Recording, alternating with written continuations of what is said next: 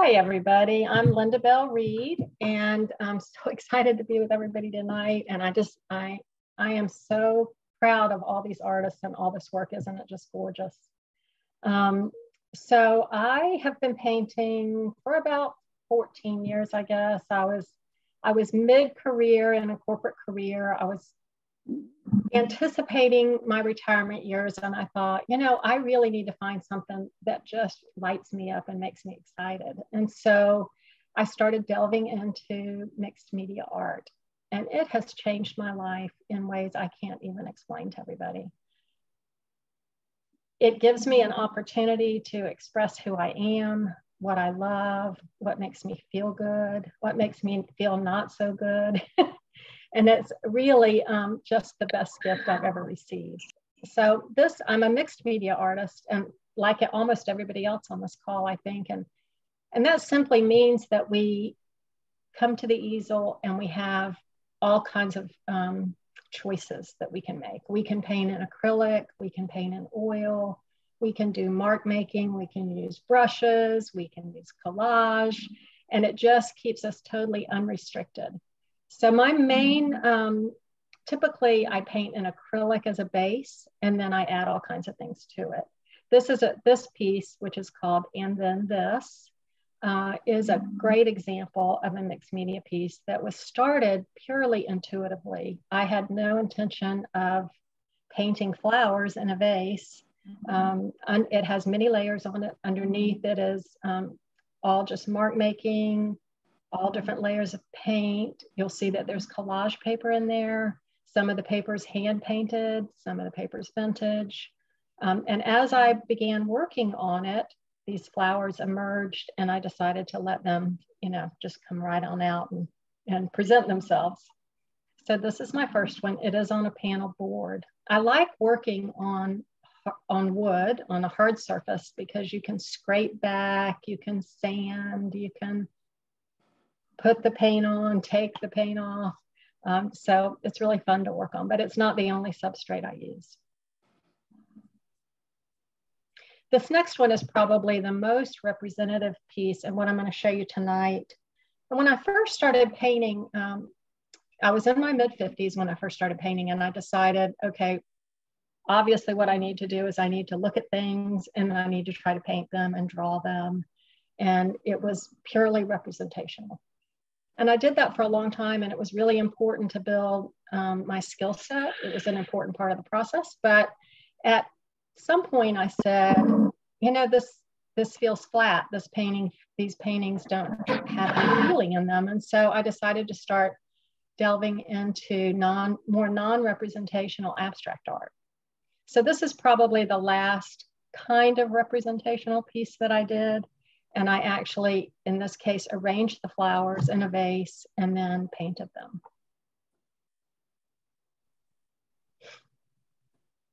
This is a piece that also has a lot of different media in it. It's basically acrylic. It's um, also got charcoal. It has uh, graphite. It has um, wax pastels and soft pastels. So lots of different mediums. Uh, it is representative of the land that I live on. I live on a really big farm in North Florida, part of which is kind of pastured and like a ranch, and the other part of it is wild and woolly. And I'm fortunate that I get to just kind of stroll around the land every day when I'm walking.